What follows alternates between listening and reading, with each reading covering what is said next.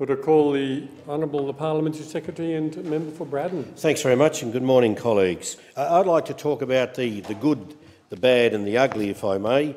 Uh, the good, of course, is the announcement on Wednesday that uh, faster broadband uh, would be coming to the northwest coast of Tasmania and to the rest of Australia, of course, uh, when um, all Australians now will have access to faster speeds in the national broadband than they can get today over the ageing copper network following an upgrade to the NBN's fixed wireless and satellite services. And this is really important to people in my electorate and no doubt to yours too, uh, Mr, Mr Deputy Speaker.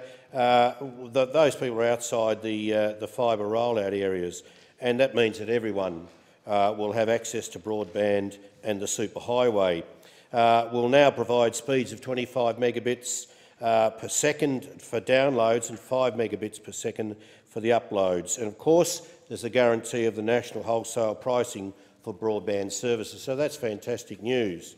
Uh, the, uh, the good, the bad, uh, unfortunately, is that uh, recently Tony Abbott uh, came to Tasmania. That's not bad so much as everyone's welcome to Tassie.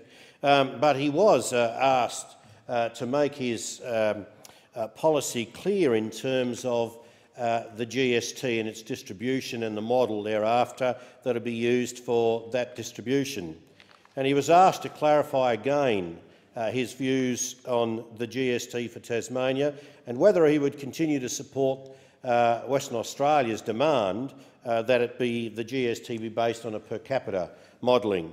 He refused to repudiate uh, the uh, Western Australian model and demand uh, from Colin Barnett, and again has refused to rule out the threat of $700 million loss to Tasmania if Tony Abbott uh, does not abide by the current GST distribution model.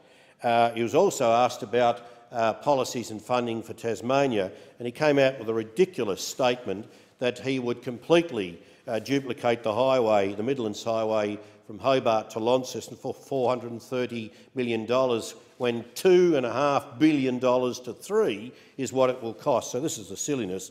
And then today we hear about his plan for North, uh, Northern uh, uh Australia, uh, where he's going to rip out 46,000 uh, public service jobs, uh, 4,000 of those, I estimate, would come from Tasmania. And he's talking about creating a food bowl in the north of Australia. We've got a food bowl in Tasmania, and if Tony Abbott and his cronies would commit to policies that would support the development of those industries in Tasmania instead of some of these crazy ideas in the north, uh, then we might get somewhere.